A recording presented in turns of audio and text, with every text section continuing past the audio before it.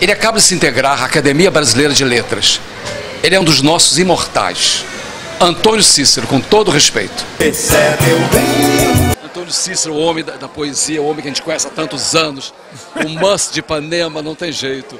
Antônio, como é que você vê o mundo tão violento hoje em dia? Como é que é fazer a poesia? Não, a gente ah, faz poesia é, justamente é como se fosse por uma outra dimensão das coisas. Ela não, a, a, a arte, a poesia de maneira geral, é, não está simplesmente retratando o mundo, né?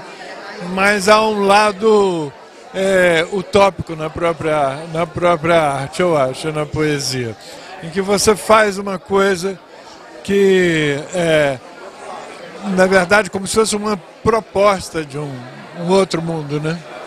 As crônicas estão mudando, as crônicas estão assim negativas. A poesia não pode ser negativa, né? A poesia é o é coração, é, o- é, é, é, é- é emoção, é, amor. Verdade, é verdade. É, que trata de, de todas essas coisas. Na verdade, a- a- a- ela não é, digamos assim, você, quando lê um, um poema, você entra, ou quando você escreve ou quando lê, você entra num outro mundo, entendeu? É uma outra dimensão. É muito diferente de quando você lê uma notícia de jornal. Uma notícia de jornal é um outro clima, inclusive. A maneira de ler é outra, né? Porque você está, na verdade, realmente usando a sua inventividade, a sua criatividade ali né, ao fazer aquilo.